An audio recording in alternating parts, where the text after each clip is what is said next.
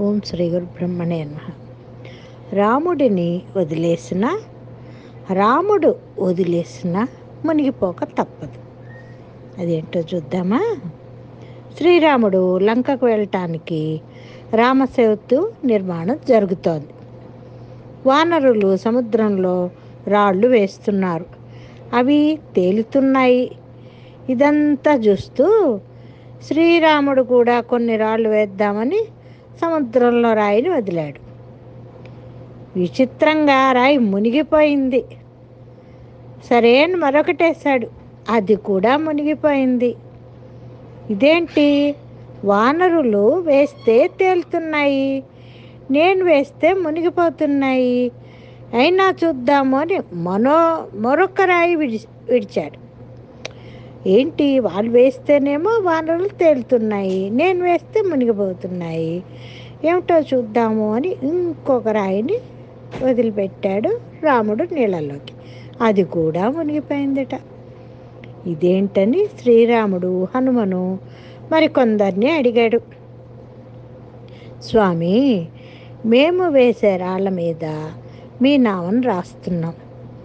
మీరు రాయలేదు కదా అన్నారు. అదేంటి? నేను స్వయంగా వేస్తున్నాను కదా. నా నామం రాస్తేనే తేలితే నేను వేస్తే మునిగిపోవడం ఏమిటి? ఎందుకలా? అన్నారు స్వామి. అందుకు హనుమ ఇలా సమాధానం చెప్పారు. స్వామి మీరు ఆ రాయిని విడిచిపెట్టేశారు. రాముడిని వదిలేసిన రాముడు వదిలేసిన మునిగిపోక తప్పదు. అదే జరుగుతోంది స్వామి అని అందుకే రామనామాన్ని జపించటం ధర్మంగా జీవించండి. సర్వేజన సుఖ్నవంతు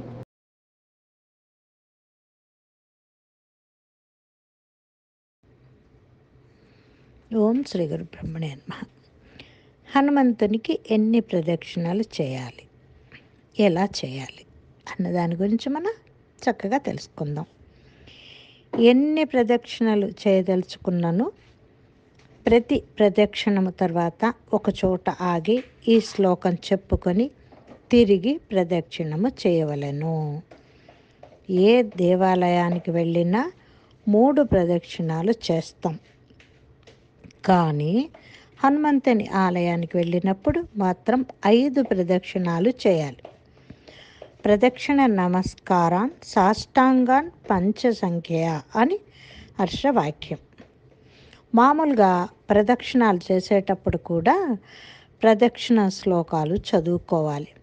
సకల రోగ భూత ప్రేత పిశాచాది బాధలు తొలగుటకు అభిష్ట అభిష్టికి అభిష్టకి ప్రదక్షిణాలు సుప్రసిద్ధాలు. ఈ ప్రదక్షిణాలు చేయటం వల్ల భూత ప్రేత పిశాచాది బాధలు అభిష్ట సిద్ధులు వస్తాయి.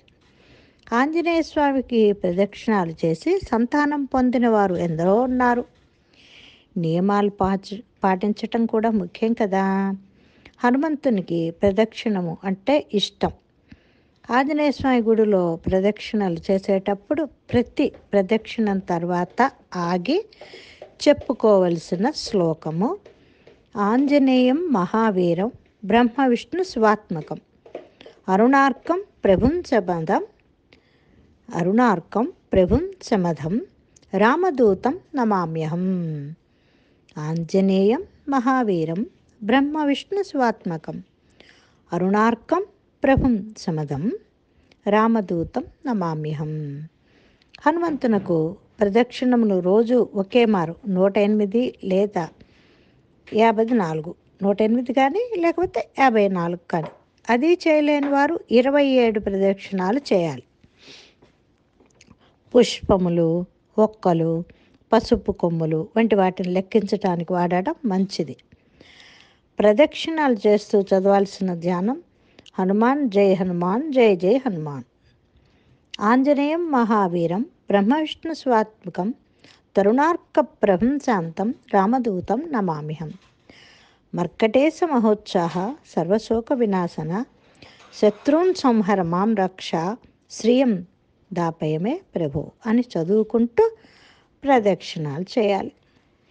కోరిక మేరకు మండలం అర్ధమండలం కానీ ప్రదక్షిణాలు చేసి చివరిలో స్వామికి విశేష అర్చన జరిపించి యాకృత్తేరేవి ప్రదక్షిణ ప్రదక్షిణనై శ్రీ స్వర్చలా సమేత సుప్రిత సుప్రసన్నో వరదోభూత్వ మామాభిష్టం సిద్ధం దదాతు అని జలాన్ని అక్షంతలతో వదిలిపెట్టాలి.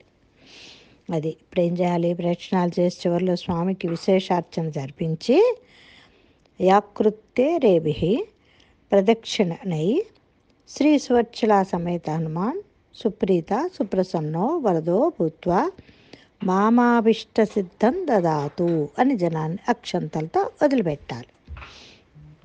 ప్రదక్షిణ కాలంలో బ్రహ్మచర్యం శిరస్నానం నేలపడక సాత్వికాహారం వంటి నియమాలు పాటించాలి. మామూలుగా ఐదు ప్రదక్షిణాలు చేయాలి.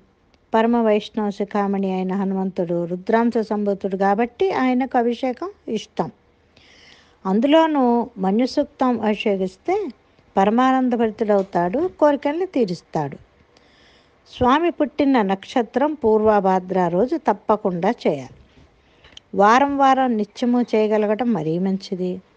మంగళవార సేవ మంగళవారం నాడు హనుమంతునకు శరీరంపై సింధూరం పోయటం చాలా ఇష్టం. అంతా కుదరని వారు మూతికైనా తప్పక పూయాలి. సింధూరార్చన చేయటం అరటి పండ్లు నివేదించటం చేయాలి. శనివార సేవ. హనుమంతుడు శనివారం జన్మించాడు కాబట్టి ఆయనకు శనివారం ఇష్టమైనది. నాడు యథాశక్తి విశేషార్చన సహస్రనామాధికం చేయాలి. ఆ రోజున అప్పాలు వడమాల వంటివి స్వామివారికి నివేదించి స్వామివారి ఆశీస్సులు పొందవచ్చు. పంచ సంఖ్య హనుమంతుడికి పంచ అనగా ఐదు సంఖ్య ఇష్టం కాబట్టి ప్రదక్షిణాలు నమస్కారాలు ఐదు చేయాలి. అరటి పండ్లు లేదా ఇతరముల స్వామికి ఐదు సంఖ్యలో సమర్పించడం స్వామివారికి మరింత ప్రీతికరం. సర్వేజన సుఖనభవంతు